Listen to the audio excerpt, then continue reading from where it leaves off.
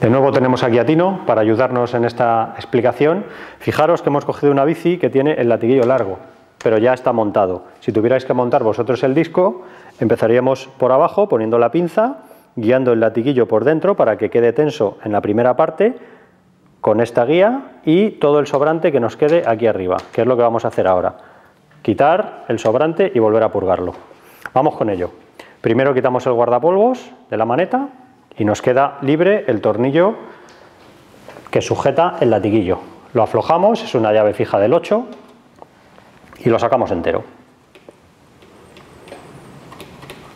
Costará un poco el latiguillo sacarlo porque está ahí presionado con los ovalillos, pero tirando y forzándolo un poquito sale.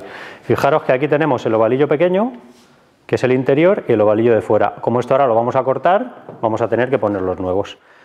¿Cuál es la longitud correcta del latiguillo? Pues fijaros que debe hacer una curva suave, solo una, no dos, solo una curva suave, y que si fuera el trasero, que nos permita hacer todo el giro del manillar, porque si lo dejamos muy corto, cuando hagamos el giro, si nos caemos, se nos va a salir el latiguillo y vamos a romperlo. Así que el trasero debe permitirnos todo el giro y el delantero una curva suave, como veis que está haciendo Tino. Más o menos marcamos con el dedo donde tendríamos que cortar y ahora vamos a explicaros cómo se corta el latiguillo. Cortar el latiguillo lo podemos hacer de la mejor manera con este útil especial, que es como una guillotina que lo corta a la perfección, pero si no lo tenéis en casa, con un cúter lo podemos hacer.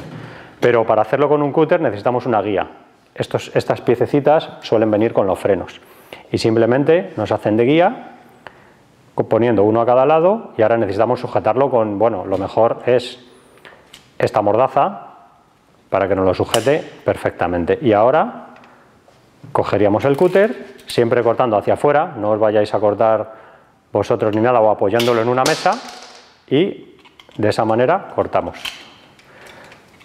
El corte tiene que ser limpio, y como tenemos estas piezas de, que lo sujetan, pues ya tenemos el corte limpio. Ya tenemos el latiguillo cortado a la medida correcta. Podemos echar estas piecitas un poquito para atrás y volver a sujetar con la mordaza para poner bien los ovalillos. Tenemos el interior, que es este que os enseña Tino ahora, y lo metemos dentro. A veces cuesta un poquito meterlo y hay que darle algunos golpecitos. Podemos utilizar un tornillo de nylon para que entre. Tiene que entrar del todo.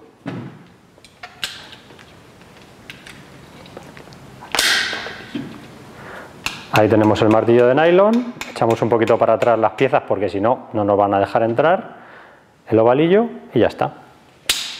Ya tenemos el interior metido.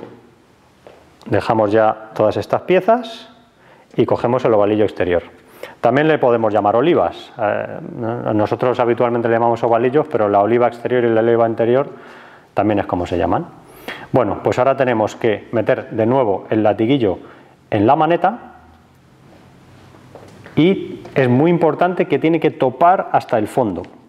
Que estéis seguros que no se ha quedado enganchado de ninguna manera y que está metido hasta el fondo. Y el ovalillo exterior lo empujamos con el tornillo. Y ahora empezamos a roscar el tornillo. Primero irá suave, pero luego notaréis que empieza a tener resistencia y es porque el propio tornillo está deformando el ovalillo exterior para que se quede todo bien estanco. ¿Qué es lo ideal? Pues más o menos os podemos decir que la norma deben quedar sobre tres hilos de rosca más o menos a la vista. No hay que apretar la rosca entera, con, con tres hilos de rosca sería suficiente. Ahí, volvemos a poner el guardapolvos y fijaros qué fácil, ya hemos cortado el latiguillo a nuestra medida, no le llevamos de más ahí botando y también, bueno, más peso porque hay más líquido y más funda. Y ahora lo que nos queda es purgarlo.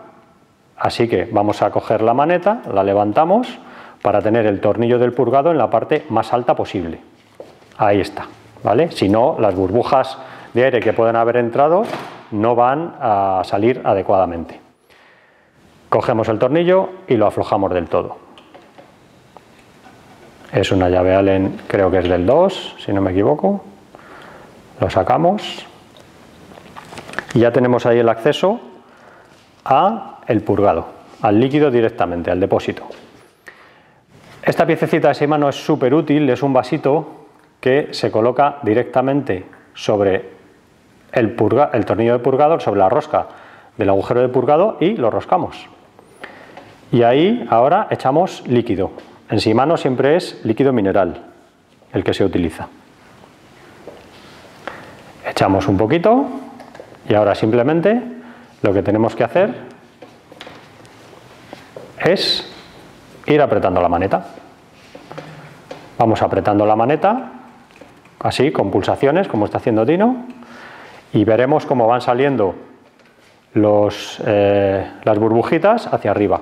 Golpeamos un poquito con cualquier cosa el latiguillo para que si ha quedado alguna burbuja dentro le ayudemos a salir a la vez que hacemos esas pulsaciones con la maneta y cuando veamos que ya no sale ninguna burbuja cogemos esa piececita que viene con el vasito que nos cierra el vaso para que no se nos salga el líquido que nos ha sobrado cuando lo desenrosquemos. Tiene una juntita ahí para que no se nos eh, caiga todo el líquido al desenroscar el vasito. Fijaros qué cosa más sencilla. Dejamos el vasito apoyado donde sea y volvemos a poner el tornillo de purgado. Lo apretamos bien, que quede bien estango, que no entre nada de aire. Volvemos a colocar la maneta en la posición de montaje normal, con el ángulo correcto hacia abajo. Y hemos terminado. Solo nos quedaría poner el puño, que eso os lo explicaremos en otro vídeo mucho más detenidamente. Como veis, Tino, fácil. Es una reparación o eh, una manipulación súper sencilla. Habéis visto, se tarda muy poquito tiempo y os animo a que, a que lo hagáis en casa. Sin haberlo visto, seguro que os decíais, caramba, eso es muy complicado y ahora fácil. Así es como intentamos explicaros las cosas. Un saludo y hasta el próximo vídeo. Hasta luego.